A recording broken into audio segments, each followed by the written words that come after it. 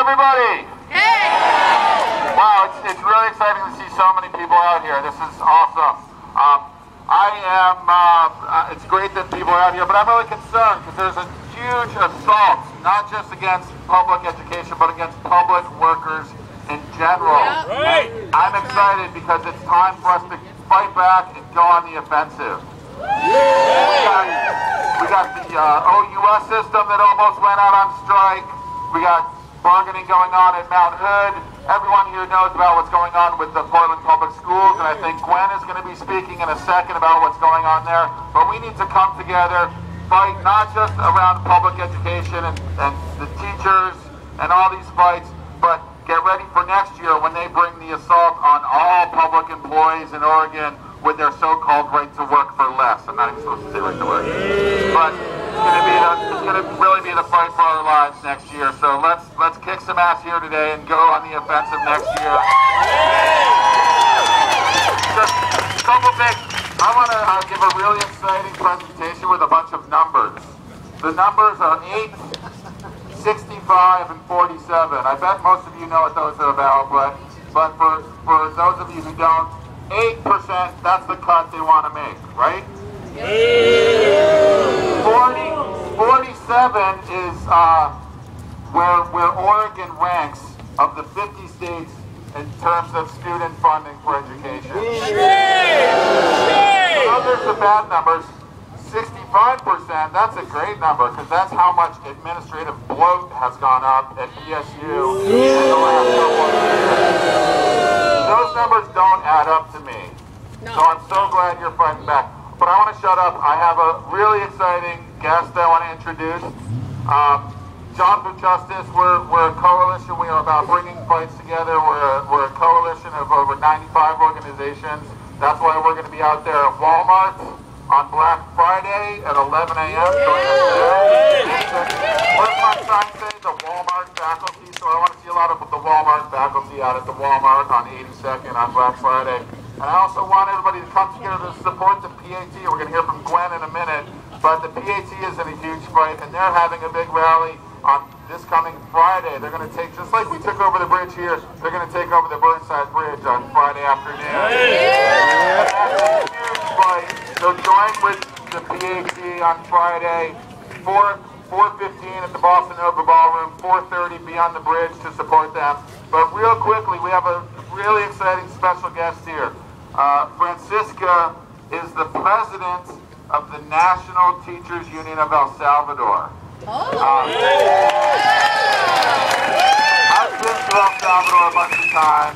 They have great stuff going on. The national, uh, the university there in El Salvador has been at the heart of every struggle in El Salvador, and there's a lot of struggles going on in El Salvador. Um, so, Francisca Iraheta, the president of Andes Union of El Salvador. And uh,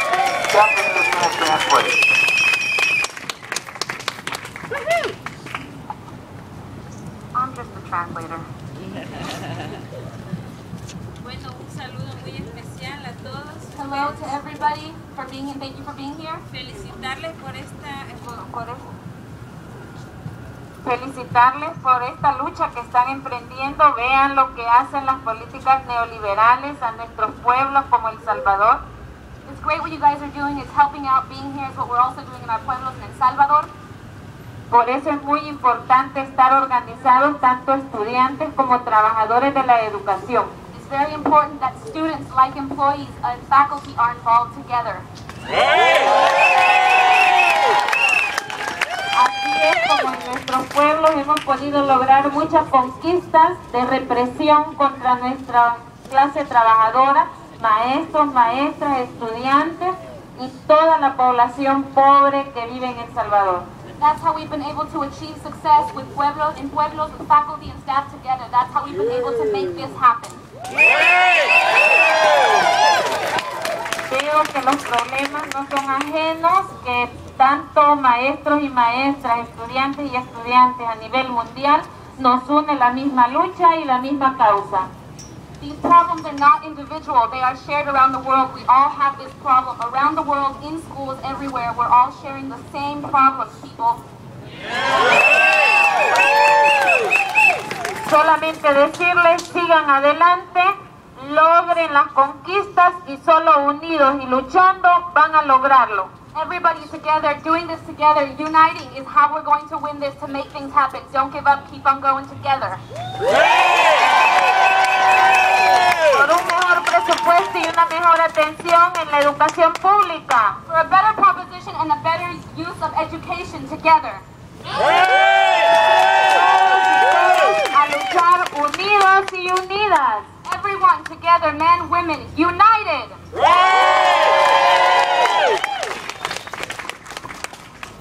Muchas gracias, compañera. Thank you very much. Basic message. We stand united. We stand united. We will not be divided. Faculty and students will not be divided. Tenure and fixed term will not be divided. SEIU and PSUFA will not be divided. We stand united. with Portland teachers, we stand united. Here we have Gwen Sullivan. Hello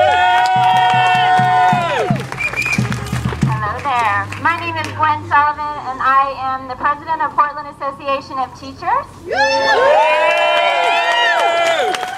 And believe it or not, I'm actually a teacher. I was elected by my uh, all the members to represent teachers, and that is my job. And so representing teachers really means in this contract battle, what we've been fighting for is the schools our students deserve.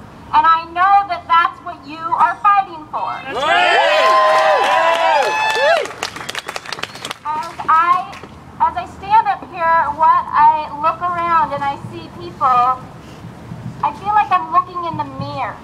We are dealing with the same thing. That's right. When we're hearing about transparency, lo and behold, that's what we're asking for, some transparency. Our district is paying $15,000 a month to a consultant to bring down the teachers. That's a serious problem. There's also some things that we share that is beautiful. It is about public education and educating our youth.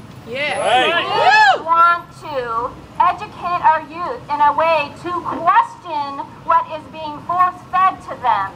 And I think it is our job to make sure that we continue to properly educate our youth. That's right.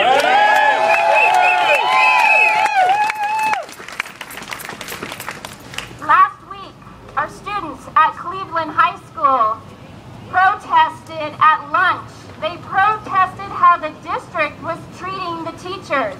And what I told them is, I can tell that they're getting a real education because they are questioning the propaganda that is going out over and over to parents and to the community. And so I would say the beautiful thing about today is I see lots of students along with faculty, along with other uh, labor friends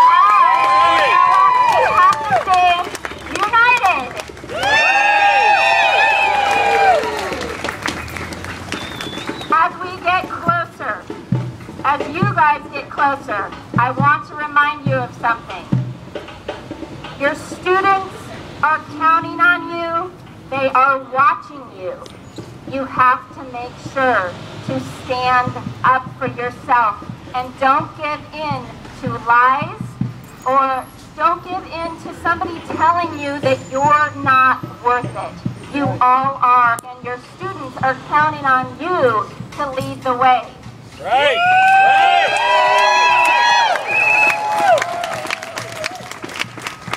I know this because I hear my my nine-year-old, my 12-year-old that are saying, Mom, why are they doing this?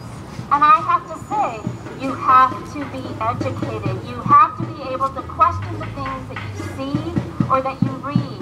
And I think the most important part is making sure that we stand together because we are a threat to all of what they are trying to do. So this Friday, I know that we have a rally on the on the bridge, Burnside Bridge. It's between 4:30 and 5:30. We plan on lining up the whole bridge. Afterwards, we're going to be at the Bossa Nova Ballroom. Please come, have some pizza and some fun. We need to get to know each other because the education doesn't just uh, start in elementary. It continues on and throughout our whole lives. We need to make sure that the citizens that we're raising today are questioning tomorrow's future. Thank you. Do not give up. We are together.